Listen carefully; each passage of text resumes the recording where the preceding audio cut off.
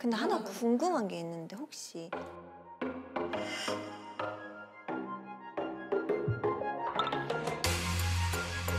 소송을 통해서 하신 분 있어요? 디테일하다 되게. 맞아 오, 맞아. 오, 오, 오. 중요하죠. 오,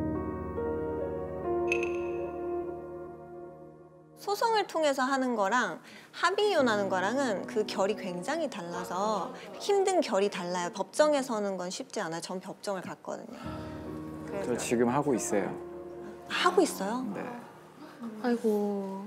아 그렇게 아 힘드실 것 같아요. 네? 마음이 마음이 아, 힘들잖아요. 처음에는 솔직히 많이 힘들었는데 지금은 네. 근데 근데 소송 중이면 정말 여기 나오는 거 쉽지 않았겠네요. 그쵸. 정말 쉽지 않았을 것 네. 같은데. 되게 조심스러우실 것 정말. 같아요. 그냥 아직 마무리가 된 게 아니라서 음. 네. 조금 조심스러웠어요. 아. 우리 둘만 엄청 힘든 길을 걸어갔네요. 와. 야 진짜.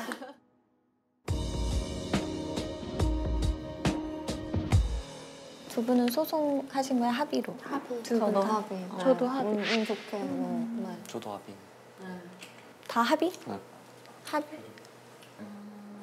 혹시 사별은 없으시죠? 네. 네. 너무 너무 많은 게 아, 많아요.